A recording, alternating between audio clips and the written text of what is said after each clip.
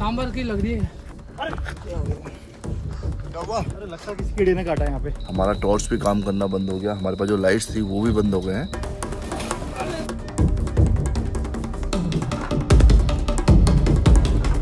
Hey guys welcome back to my channel adventure with boy भैया so guys आज मैं निकला हूँ अपनी टीम के साथ एक घने जंगल में, यानी कि डेंस फॉरेस्ट में। आज के इस सफ़र में हम गाड़ी से नहीं, हम लोग पैदल ट्रैक कर रहे हैं और हम इन्हीं टेढ़े मेढ़े रस्तों से होते हुए किसी हाईएस्ट पॉइंट पे जाएँगे जहाँ पे हम लोग करेंगे आज कैंपिंग आज की रात हम इसी जंगल में रुकेंगे जहाँ हर पल खतरा बना हुआ है। कीड़े मकोड़ों का, जंगली जानवरों का और जहरीले मच्छरों का। ये जंगल इतना खतरनाक है कि यहाँ पर अजगरों का भी बहुत खतरा है, क्योंकि बहुत सारे जंगली जानवर के अलावा यहाँ पे रेप्टाइल्स भी हैं, जिसमें कोबरा भी यहाँ पे मेन है। हमें बड़े संभल कर चलना होगा क्योंकि शाम का समय है और अंधेरा होने से पहले पहले हमें उस पॉइंट तक पहुँचना होगा जहाँ पे हम लोग कैंपिंग करेंगे। क्योंकि फ़र्स्ट टाइम इस ट्रैक पर आए हैं तो इस ट्रैक को देखते हुए हम आगे बढ़ रहे हैं।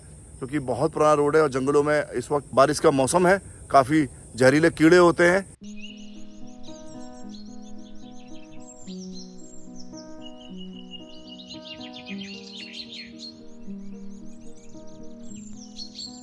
मच्छरों ने काट के बुरा हाल कर रखा बहुत बुरी तरह मच्छर काट रहे हैं। एक छोटे से होल्ड के लिए हम लोग यहाँ पे रुके हुए थे। चलो फटाफट लेट हो रहे हैं अंधेरा हो जाएगा भाई समझो टाइमली पहुँचना है।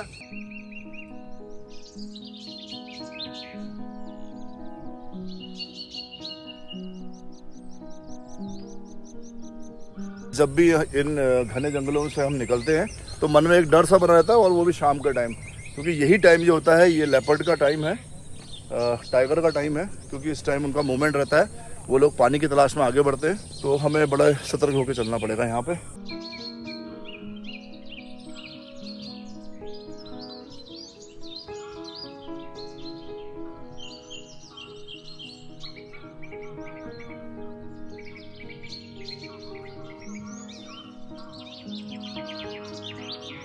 चलते चलते काफ़ी टाइम हमें हो गया है।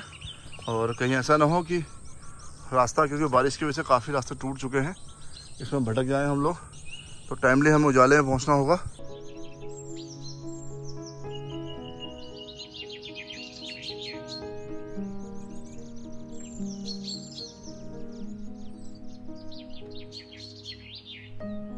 यहाँ पर बड़ा कंफ्यूजन हो गया है, क्योंकि एक रोड ये जा रहा है और एक रास्ता ये जा रहा है। तो समझ में नहीं आ रहा किस रास्ते में जाऊँ। लेकिन इस रास्ते में पेड़ पौधे ज़्यादा हैं यहाँ पेड़ पौधे कम हैं। तो मुझे लगता है कि ये वाला रूट हमें फॉलो करना चाहिए। हाँ। क्यों? क्योंकि जानवर जिस रूट से चलता है हमें उसी रूट को फॉलो करना है। इस रूट पर जानवर की आवाजाही कम है। ये रूट क्लीन है तो शायद इसमें जानवर ज़्यादा चलते हैं। तो हमें ये रूट फॉलो करना चाहिए।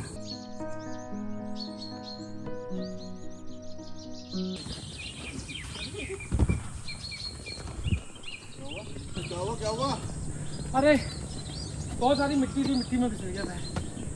ठीक है? अरे आराम चलो यार। चोट वोट ना लगे ध्यान देना चीज़ का। सस्ता डाउट लग रहा भाई। आ जाओ सही हैं? रास्ता बहुत डेंजर है।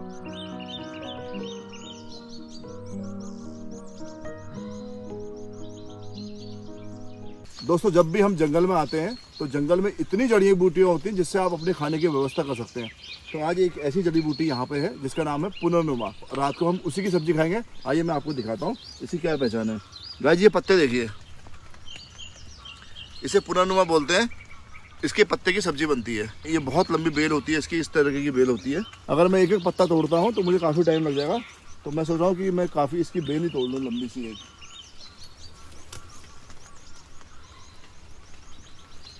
तो इससे आज मैं अपनी सब्ज़ी बनाऊँगा। ऐसे अभी रास्ते में बहुत है तो हम लोग वहाँ से इकट्ठा करते हुए जाएँगे। मिलते जा रही मैं इकट्ठे करते जा रहा हूँ।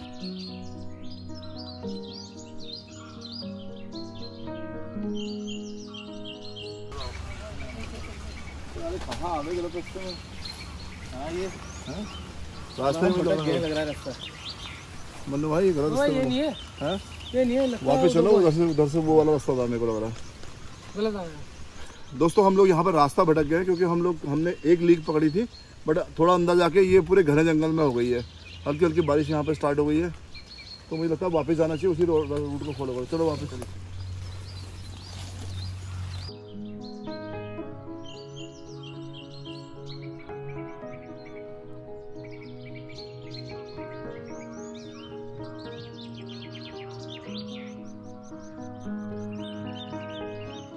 धीरे धीरे हम काफ़ी हाइट पर आते जा रहे हैं, क्योंकि इस हाइट पे आके खुला आसमान दिखने लगा है। यहाँ पे पेड़ पौधे कम है, लग रहा कि कोई टॉप है यहाँ पे।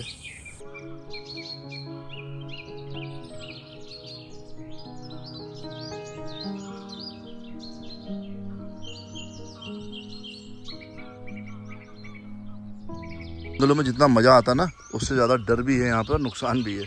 देखिए कितने मोटे मोटे कीड़े हैं यहाँ पे, देखिए। और बहुत सारे हैं इस पेड़ में, और ये खुजली करते हैं बहुत ज़्यादा।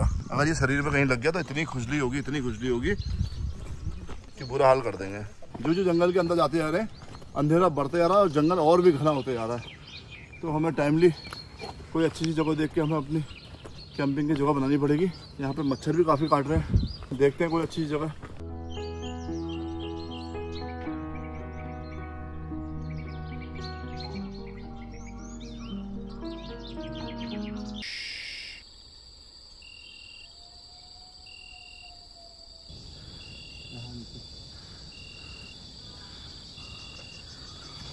यहाँ पे पत्तों की छछड़ाहट हो रही है नीचे। मुझे लगता है कुछ कोई चीज़ गई है यहाँ से। चलो चलो कोई बात नहीं। बढ़ते जाओ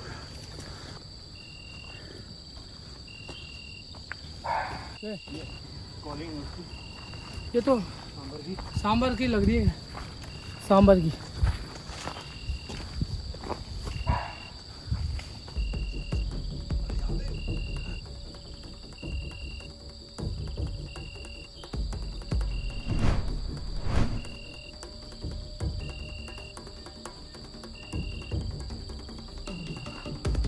अंधेरा होने लग गया है। तो जब अंधेरा होता है ना ये जानवर का टाइम होता है। तो थोड़ा सा आप आवाज़ करते हुए चलोगे बीच बीच में हल्की हल्की आवाज़ करेंगे। जिससे मतलब जान- भी रहना होगा थोड़ा। जानवर भी अलर्ट रहे और हम भी अलर्ट रहे। ठीक है?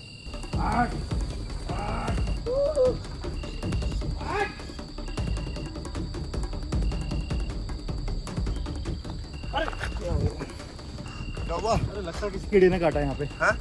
किसी कीड़े ने काटा जलन जैसी हो। रही है। ये बरसात के कीड़े होते हैं। हाँ। बरसात के टाइम पे बहुत ज़्यादा हो जाते हैं। तो ऐसे डरने की कोई बात नहीं आओ।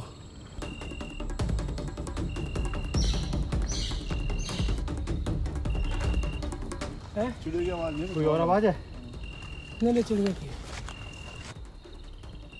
तो गाइज़ यहाँ पर रुके थे हम लोग एक रेस्ट के लिए एक छोटे से होल्ड के लिए। तो काफ़ी देर हो गई है क्योंकि रात भी हो गई है। हमें अभी टेंट भी लगाने हैं अपने। तो मैं सोच रहा हूँ कि टाइमली आगे चलना चाहिए हमें। मनु भाई चलो आगे चले। दो मिनट रुको यार।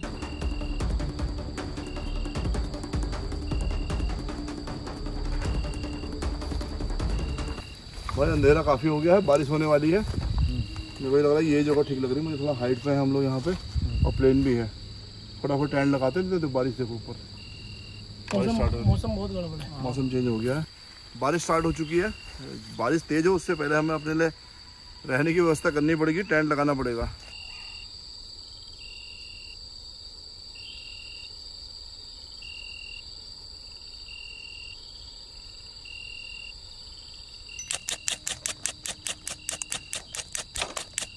तरीके से आग जलाना बहुत टफ है।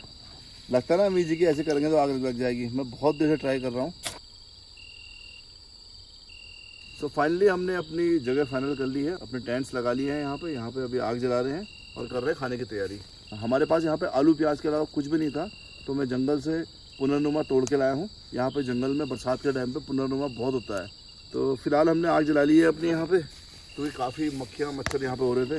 तो इनसे बचने के लिए इस जंगल में लेकिन काफ़ी सतर्क होना है बार बार आवाज़ें आ रही है यहाँ पे। और तो कोई डर रहता नहीं यहाँ पे, सिर्फ़ जानवर का डर रहता है। और गाइस आज जूरो को हम लेके नहीं आए अपने साथ, क्योंकि जूरो होता तो ऐसे डेंस फोर्स के अंदर बहुत ज़्यादा दिक्कत हो जाती। लेपर्ड हमारे चारों ओर घूम रहे होते, इसलिए आज उसको लेके नहीं आए तो दोनों टेंट हमारे लग चुके हैं टेंट अगल बगल लगाए हैं बिल्कुल, क्योंकि रात को बड़ा सतर्क होकर यहाँ पर रहना पड़ेगा। अगर आपको ज़्यादा नींद आ रही तो सोना अदरवाइज़ आज बातें करेंगे, मस्ती करेंगे। थोड़ा इंतज़ार का मज़ा लीजिए। जंगल के अंदर तो बहुत गर्मी थी, लेकिन अभी थोड़ा हाइट पे आ गए हैं। तो यहाँ पे थोड़ा हवा चल रही है तो उसकी वजह से थोड़ा ठंड है। दोस्तों, रास्ते भर में इतने मच्छरों ने काटा, इतने मच्छरों ने काटा कि बुरा हाल कर दिया है। फ़िलहाल मच्छरों से काफ़ी राहत मिली है। जंगल का एक रूल है ना, कभी भी हम जंगल में ऐसे बैठते हैं तो आमने सामने बैठना चाहिए कि मैं आपके पीछे देख सकूँ, आप मेरे पीछे देख सकूँ। फ़िलहाल बन रही है हमारी सब्ज़ी यहाँ पे। दोस्तों, ये पुनर्नुमा है ना, इसकी बड़ी खासियत है। एक तो इसमें विटामिन सी भरपूर मात्रा में होता है। डायबिटीज़ वाले होते हैं ना, उनके लिए बहुत अच्छी है। और पेट में दर्द हो तो उसमें बहुत फ़ायदा देती है। मेनली ये जंगली सब्ज़ी है, ये बरसात के टाइम पे जंगलों में ही पाई जा रही है और कहीं नहीं मिलेगा आपको, सिर्फ़ जंगलों में मिलेगा। है नहीं हमारे पास, ये पुनर्नुमा है और आलू है। तो आज इसी काम चलाना पड़ेगा। ग्रिलर है यहाँ पे, जिसमें मेरे पास सिर्फ़ आलू बचे हैं। आलू को हम यहाँ पे ग्रिल कर रहे हैं। तो दोस्तों पुनर्नुमा की सब्ज़ी बन चुकी है तो उसे टेस्ट करते हैं वह कैसी हो रही है। मनु भाई बहुत टेस्टी हो रही है भैया बहुत बढ़िया टेस्ट हो रहा है। बरसात के टाइम पर जंगल में आपको कुछ ना कुछ खाने के लिए मिल जाएगा। बहुत टेस्टी है।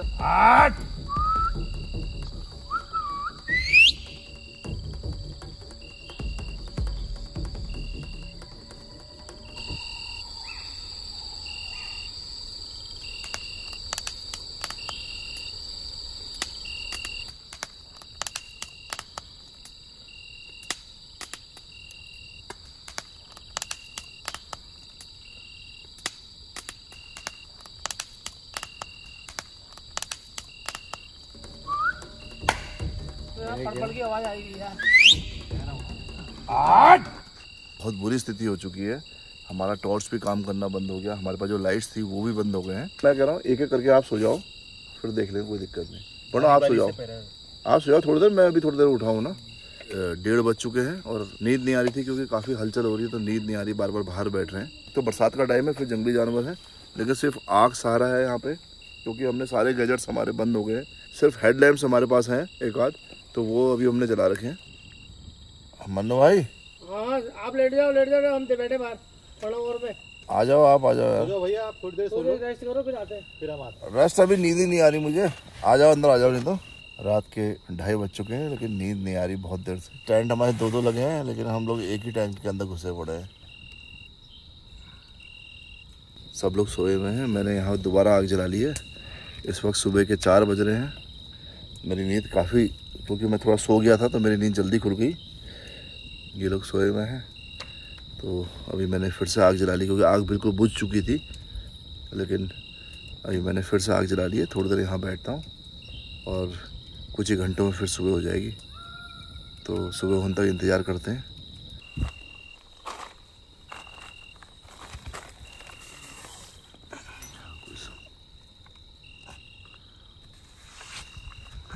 सोए हुए हैं। बट रात ढंग से नींद नहीं आ पाई। सोने की तो बहुत कोशिश की बस थोड़ी देर नींद आई फिर नींद खुल गई। बट ये लोग भी पता नहीं रात भर सोए नहीं ये लोग बाहर ही बैठे थे। अभी ये पता नहीं कब आए मुझे पता नहीं लगा और ये लोग अभी सोए हुए हैं। तो जब तक ये सो रहे हैं, मैं बाहर बैठ के इंतज़ार करता हूँ।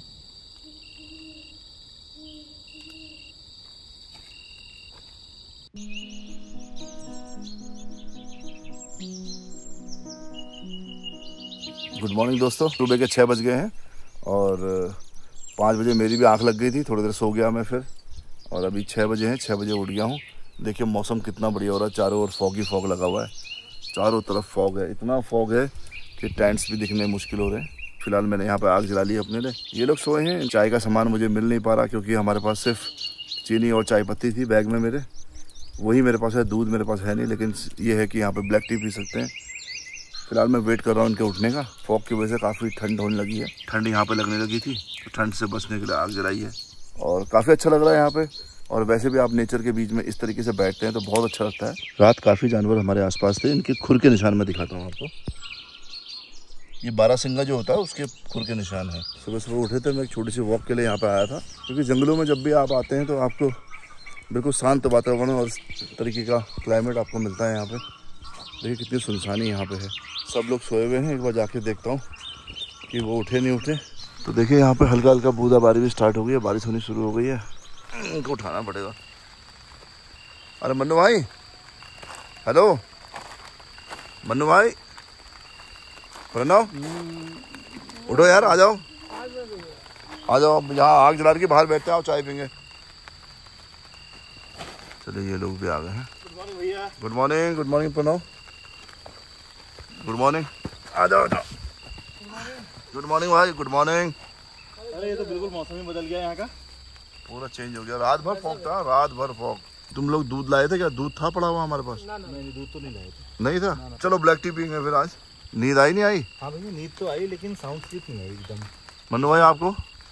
बहुत मतलब मच्छर बड़ी रेड़ मार रहे थे। का प्रबंध करो यार? पानी है ना?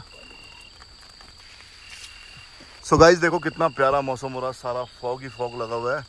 और ऐसे में कैंपिंग करने का ये टेंट से हम लोग पानी बिल्कुल नहीं आ रहा इस टेंट से बचे हुए हैं। और चारों ओर फॉग ही फॉग है। कितना खूबसूरत मौसम हो रहा है। ऐसा लग रहा है कि बादलों के बीच हम लोग बैठे हुए हैं। और बारिश भी होने लग गई है। यहाँ पे काफ़ी बारिश हो रही है। बारिश की आवाज़ आप सुन रहे होंगे। अच्छा ब्लैक टी बनेगी आज। आज दूध है नहीं गाइस हम लोग ब्लैक टी पीएँगे टेंट्स हमारे ये लगे हुए थे। रात को हम यहीं रुके हुए थे। लेकिन रात को काफ़ी आवाज़ें आ रही थी जानवर की। तो एक डर का माहौल बना हुआ था। लेकिन फिर भी, चलो, रात गुजारी, क्योंकि इस तरीके की कैंपिंग करने का मज़ा ही यही है। अगर डर ना हो ना तो फिर मज़ा ही ना आए। और जंगल में डेंस फॉरेस्ट के अंदर आप कभी कैंपिंग करेंगे, अलग ही मज़ा आएगा। सात बज चुके हैं और काफ़ी अच्छा लग रहा है, बहुत तेज़ बारिश शुरू हो गई है। तो टेंट के अंदर फ़िलहाल पानी तो नहीं आ रहा है, क्योंकि सारे वाटरप्रूफ टेंट्स हैं। लेकिन यहाँ बैठ के जो मज़ा आ रहा है ना, उसकी बात ही अलग है। चाय आ चुकी है। प्रणव, चाय का मज़ा लेते हैं ऐसे मौसम में। वाकई में मज़ा आ गया। जन्नत है, जन्नत। हम लोग वाकई में जन्नत रहते हैं यार। गाइस आज हम लोग कप लाना ही भूल गए तो एक ही कप हमारे पास है और फुल भरा है चाय से। तो आपस में मिलके पी लेंगे ऐसी चाय। तो हम लोग यार बहुत सारे सामान भूल जाते हैं कैंपिंग के लिए ना। मनु भाई, चाय तो बहुत टॉप की बनी है यार। चाय ब्लैक टी है, मज़ा आ रहा काफ़ी। अभी यहीं पे ना हमारे पास ब्रेकफास्ट का सामान होता तो मज़ा आ जाता है यार। आज सामान नहीं है गाइज़ हमारे पास। मुझे भी बिल्कुल पता नहीं था कि ऐसा भी यहाँ पे क्लाइमेट हो जाएगा, ऐसा मौसम हो जाएगा, इतना फॉग यहाँ पे आ जाएगा। तो कुछ चीज़ें ऐसी होती हैं जो बिना सोचे समझे हो जाती हैं।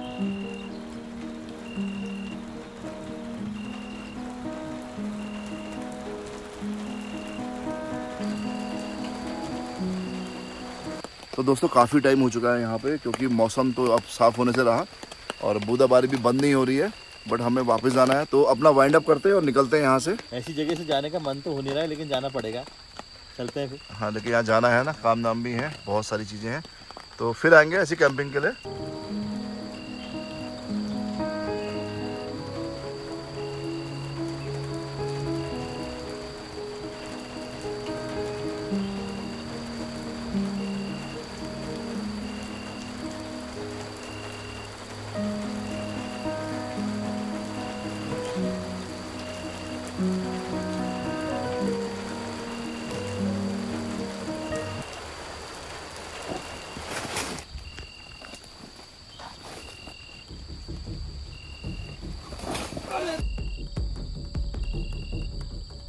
मनु भैया हाँ। क्या हो गया था?